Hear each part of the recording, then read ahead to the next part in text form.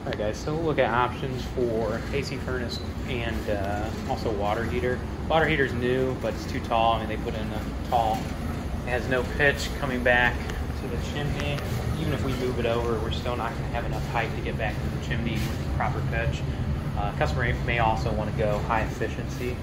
I'm sorry, high efficiency. Uh, electric on the uh, water heater. So reconfigure stuff in here. They have a uh, 200 amp service, and the only uh, 220s currently are the AC, the range, and the fridge.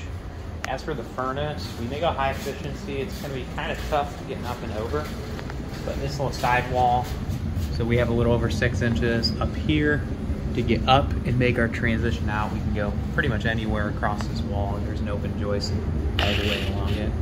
City home. We do that and we don't have the water heater or the furnace, we just put a cap and they have a six inch flue. We'll need a base. And then for the return, I'm just gonna order, uh, or I'm, uh, we can do a transition on site. So we're gonna have to move it over from here rather than trying to mess with this portion. We can do a transition, uh, transition piece over, come straight down, and we'll have plenty of room for a five inch filter in here drain, and then we're going to replace that line set.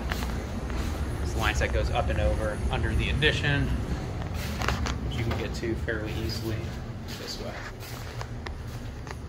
That should be everything.